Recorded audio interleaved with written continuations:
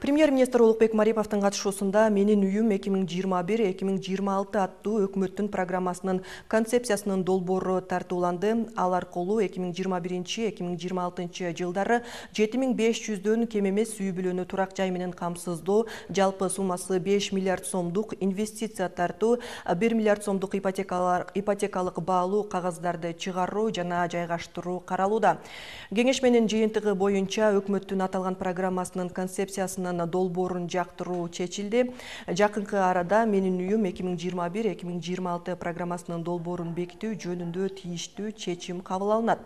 Премьер министр тийиштүү мамлекеттик органдарга өнөктөш банктар жана донорлор менен биргеликте мамлекеттик ипотека боюнча пайыздык ченди кыскартуу жөнүндө маселени иштеп чыгууну тапшырды